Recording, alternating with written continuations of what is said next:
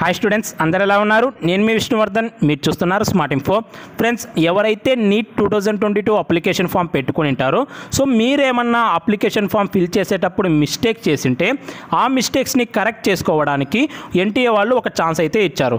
So నేను ఈరోజు మీకు ఈ వీడియోలో మీరు ఏ ఏ ఫీల్డ్స్లో కరెక్షన్ చేసుకోవచ్చు? ఫర్ ఎగ్జాంపుల్ మీ నేమ్ చేంజ్ చేసుకోవచ్చా? కేటగిరీ చేంజ్ చేసుకోవచ్చా? సో కేటగిరీ సర్టిఫికేట్ చాలామంది రాంగ్గా పెట్టారు. సో ఏ సర్టిఫికేట్ మామూలుగా అప్లోడ్ చేయాలి? సో ఏ ఏ ఫీల్డ్స్లో మీరు కరెక్ట్ చేసుకోవచ్చు ఎప్పటి వరకు కరెక్షన్ చేసుకోవచ్చు అలాగే ఈ కరెక్షన్ చేసే విధానంలో రూల్స్ అండ్ రెగ్యులేషన్స్ ఏంటో కూడా ఈరోజు ఈ వీడియోలో ఇన్ డీటెయిల్గా చెప్తాను. సో ఈ వీడియోని చివరి వరకు చూడండి. మీరు ఏ డేట్ వరకు కరెక్షన్ చేసుకోవచ్చు? అంటే twenty seventh May night nine PM వరకు మీరు కరెక్షన్ చేసుకోవచ్చు. So already correction window open అయిపోయింది ట్వంటీ ఫోర్త్ మేనే ఓకేనా లాస్ట్ డేట్ వచ్చేసి ట్వంటీ సెవెంత్ మే అయితే ఏ ఏ ఫీల్డ్స్లో కరెక్షన్ చేసుకోవచ్చు అనే దానికి వీళ్ళు టూ కండిషన్స్ ఇచ్చారు. సో ఎవరికైతే ఆధార్ కార్డ్ వెరిఫై అయి ఉంటుందో సో వాళ్ళకి ఒక సపరేట్ రూల్స్ అండ్ రెగ్యులేషన్స్ ఇచ్చారు.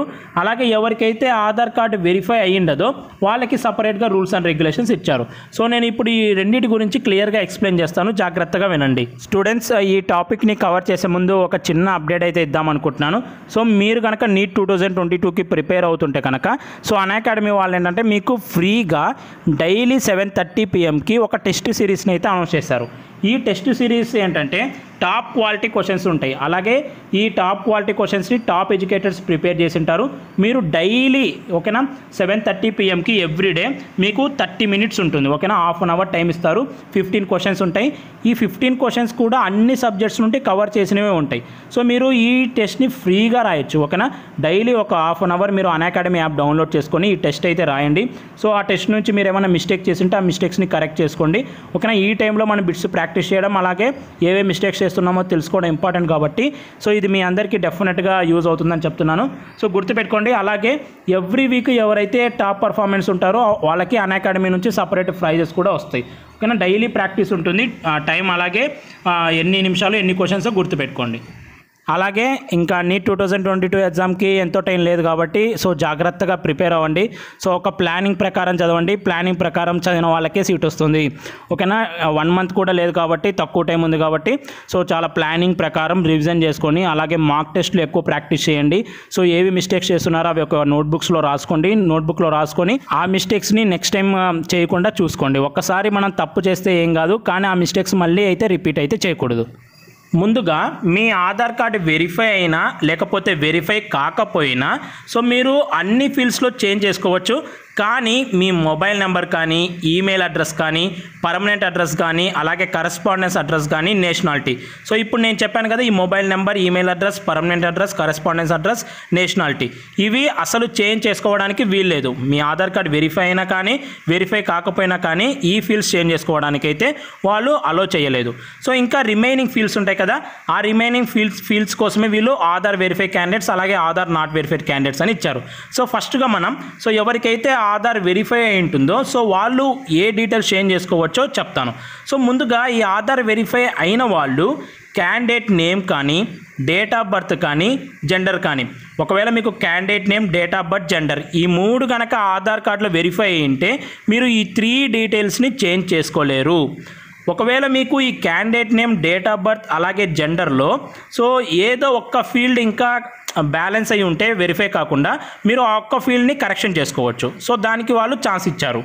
నెక్స్ట్ మనం మదర్ నేమ్ అలాగే ఫాదర్ నేమ్ చూస్తే సో మీరు కనుక మీ మదర్ నేమ్ కానీ ఫాదర్ నేమ్ కానీ మిస్టేక్ పెట్టింటే కేవలం ఎవరో ఒక్కరి నేమ్ మాత్రమే కరెక్ట్ చేయగలరు. ఒకవేళ కరెక్ట్ చేయాలనుకుంటే మదర్ నేమ్ మాత్రమే కరెక్ట్ చేయాలి లేకపోతే ఫాదర్ నేమ్ మాత్రమే కరెక్ట్ చేయాలి. సో ఓకేనా? Both father name and mother name correct చేసుకోవడానికి వీలుండదు. ఓకేనా? అలాగే ఎవరైతే ఈ father name mother name correct చేసుకుంటారో సో వాళ్ళు ఈ ఫోటోగ్రాఫ్ అలాగే సిగ్నేచర్ చేంజ్ చేయడానికి వీల్లేదు. ఫర్ ఎగ్జాంపుల్కి మీరు ఫాదర్ నేమ్ అలాగే మదర్ నేమ్ చేంజ్ చేయాలనుకుంటారు. కానీ ఫాదర్ నేమ్ మదర్ నేమ్లో కేవలం ఒక్కటి మాత్రమే చేంజ్ చేయగలరు. ఒకవేళ మీరు ఫాదర్ నేమ్ మదర్ నేమ్లో కానీ ఎవరిదో ఒకరిది చేంజ్ చేశారనుకోండి నెక్స్ట్ మీరు ఫోటో మళ్ళీ కొత్తది పెట్టాలనుకున్నా సిగ్నేచర్ మళ్ళీ కరెక్ట్ చేయాలనుకున్నా ఉండదు. ఓకేనా? ఏదర్ మీరు father name or mother name రెండిట్లో ఏదో ఒకటి మాత్రమే కరెక్ట్ చేసుకోవచ్చు. ఒకవేళ మీరు father name mother name correct చేస్తే మీకు ఫోటో అండ్ సిగ్నేచర్కి ఛాన్స్ ఉండదు. ఒకవేళ మీరు father name and mother name కరెక్ట్గానే పెట్టింటే ఫోటో అండ్ సిగ్నేచర్ చేంజ్ చేసుకోవడానికి ఛాన్స్ ఇచ్చారు.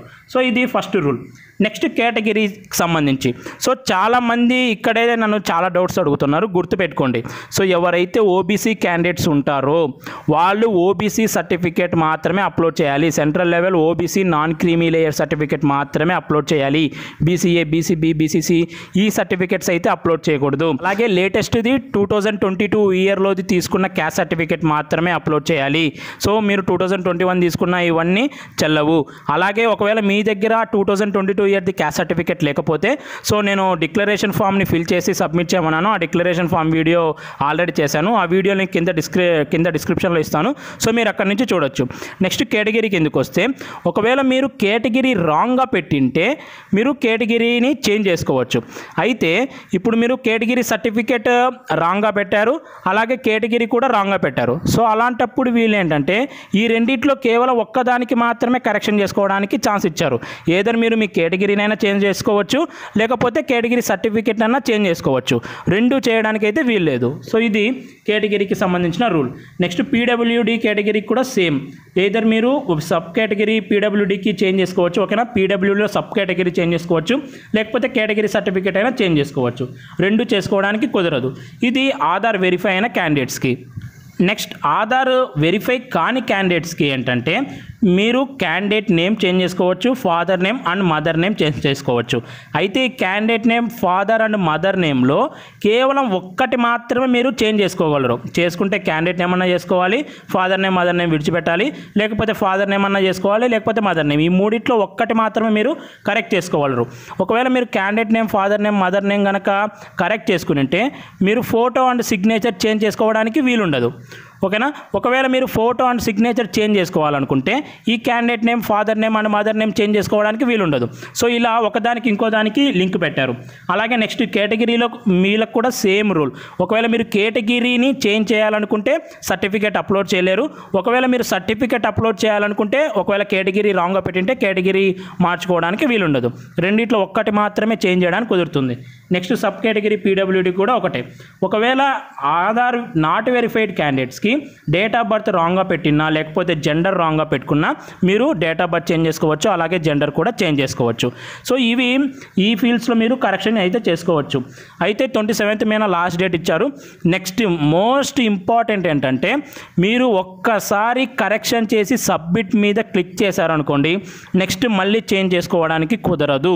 కేవలం వన్ టైం కరెక్షన్ మాత్రమే అలో చేస్తారు. సో ట్వంటీ సెవెంత్ మే లోపు మీరు ఒక్కసారి కరెక్షన్ చేసి సబ్మిట్ చేసినారనుకోండి మళ్ళీ మీరు కరెక్షన్ చేసుకోలేరు. ఒకవేళ last date twenty seven May అయినా కూడా మీకు ఒక్కసారి మాత్రమే ఛాన్స్ ఉంది. కాబట్టి మీరు ఒకసారి మీ అప్లికేషన్ ఫామ్ని ఓపెన్ చేసుకొని సో ప్రతి ఒక్క ఫీల్డ్ జాగ్రత్తగా పెట్టారో లేదో చెక్ చేసుకొని ఒకవేళ ఏదైనా మిస్టేక్ పెట్టింటే సో ఏ మిస్టేక్ చేయాలో క్లారిటీ తెచ్చుకొని ఆ తర్వాత మాత్రమే కరెక్షన్ చేసుకోండి. ప్రతి ఒక్కరైతే అప్లికేషన్ ఫామ్ని చెక్ చేసుకోండి. ఎందుకంటే ఇప్పుడు మీరు కనుక కరెక్షన్ చేసుకోకపోతే నెక్స్ట్ కౌన్సిలింగ్ టైంలో మళ్ళీ ప్రాబ్లం వచ్చే ఛాన్స్ ఉంది. ఇది NEET two thousand twenty two క్యాండిడేట్స్కి కరెక్షన్ విండోకి సంబంధించిన అప్డేట్ ఈ వీడియో మీ అందరికి నచ్చింది అనుకుంటున్నాను. ఈ వీడియో మీకు నచ్చితే లైక్ చేయండి. ఇలాంటి మరెన్నో వీడియోస్ మీరు మిస్ అవ్వకూడదు అనుకుంటే మన ఛానల్ని సబ్స్క్రైబ్ చేసుకోండి. Thank you so much for watching have a great day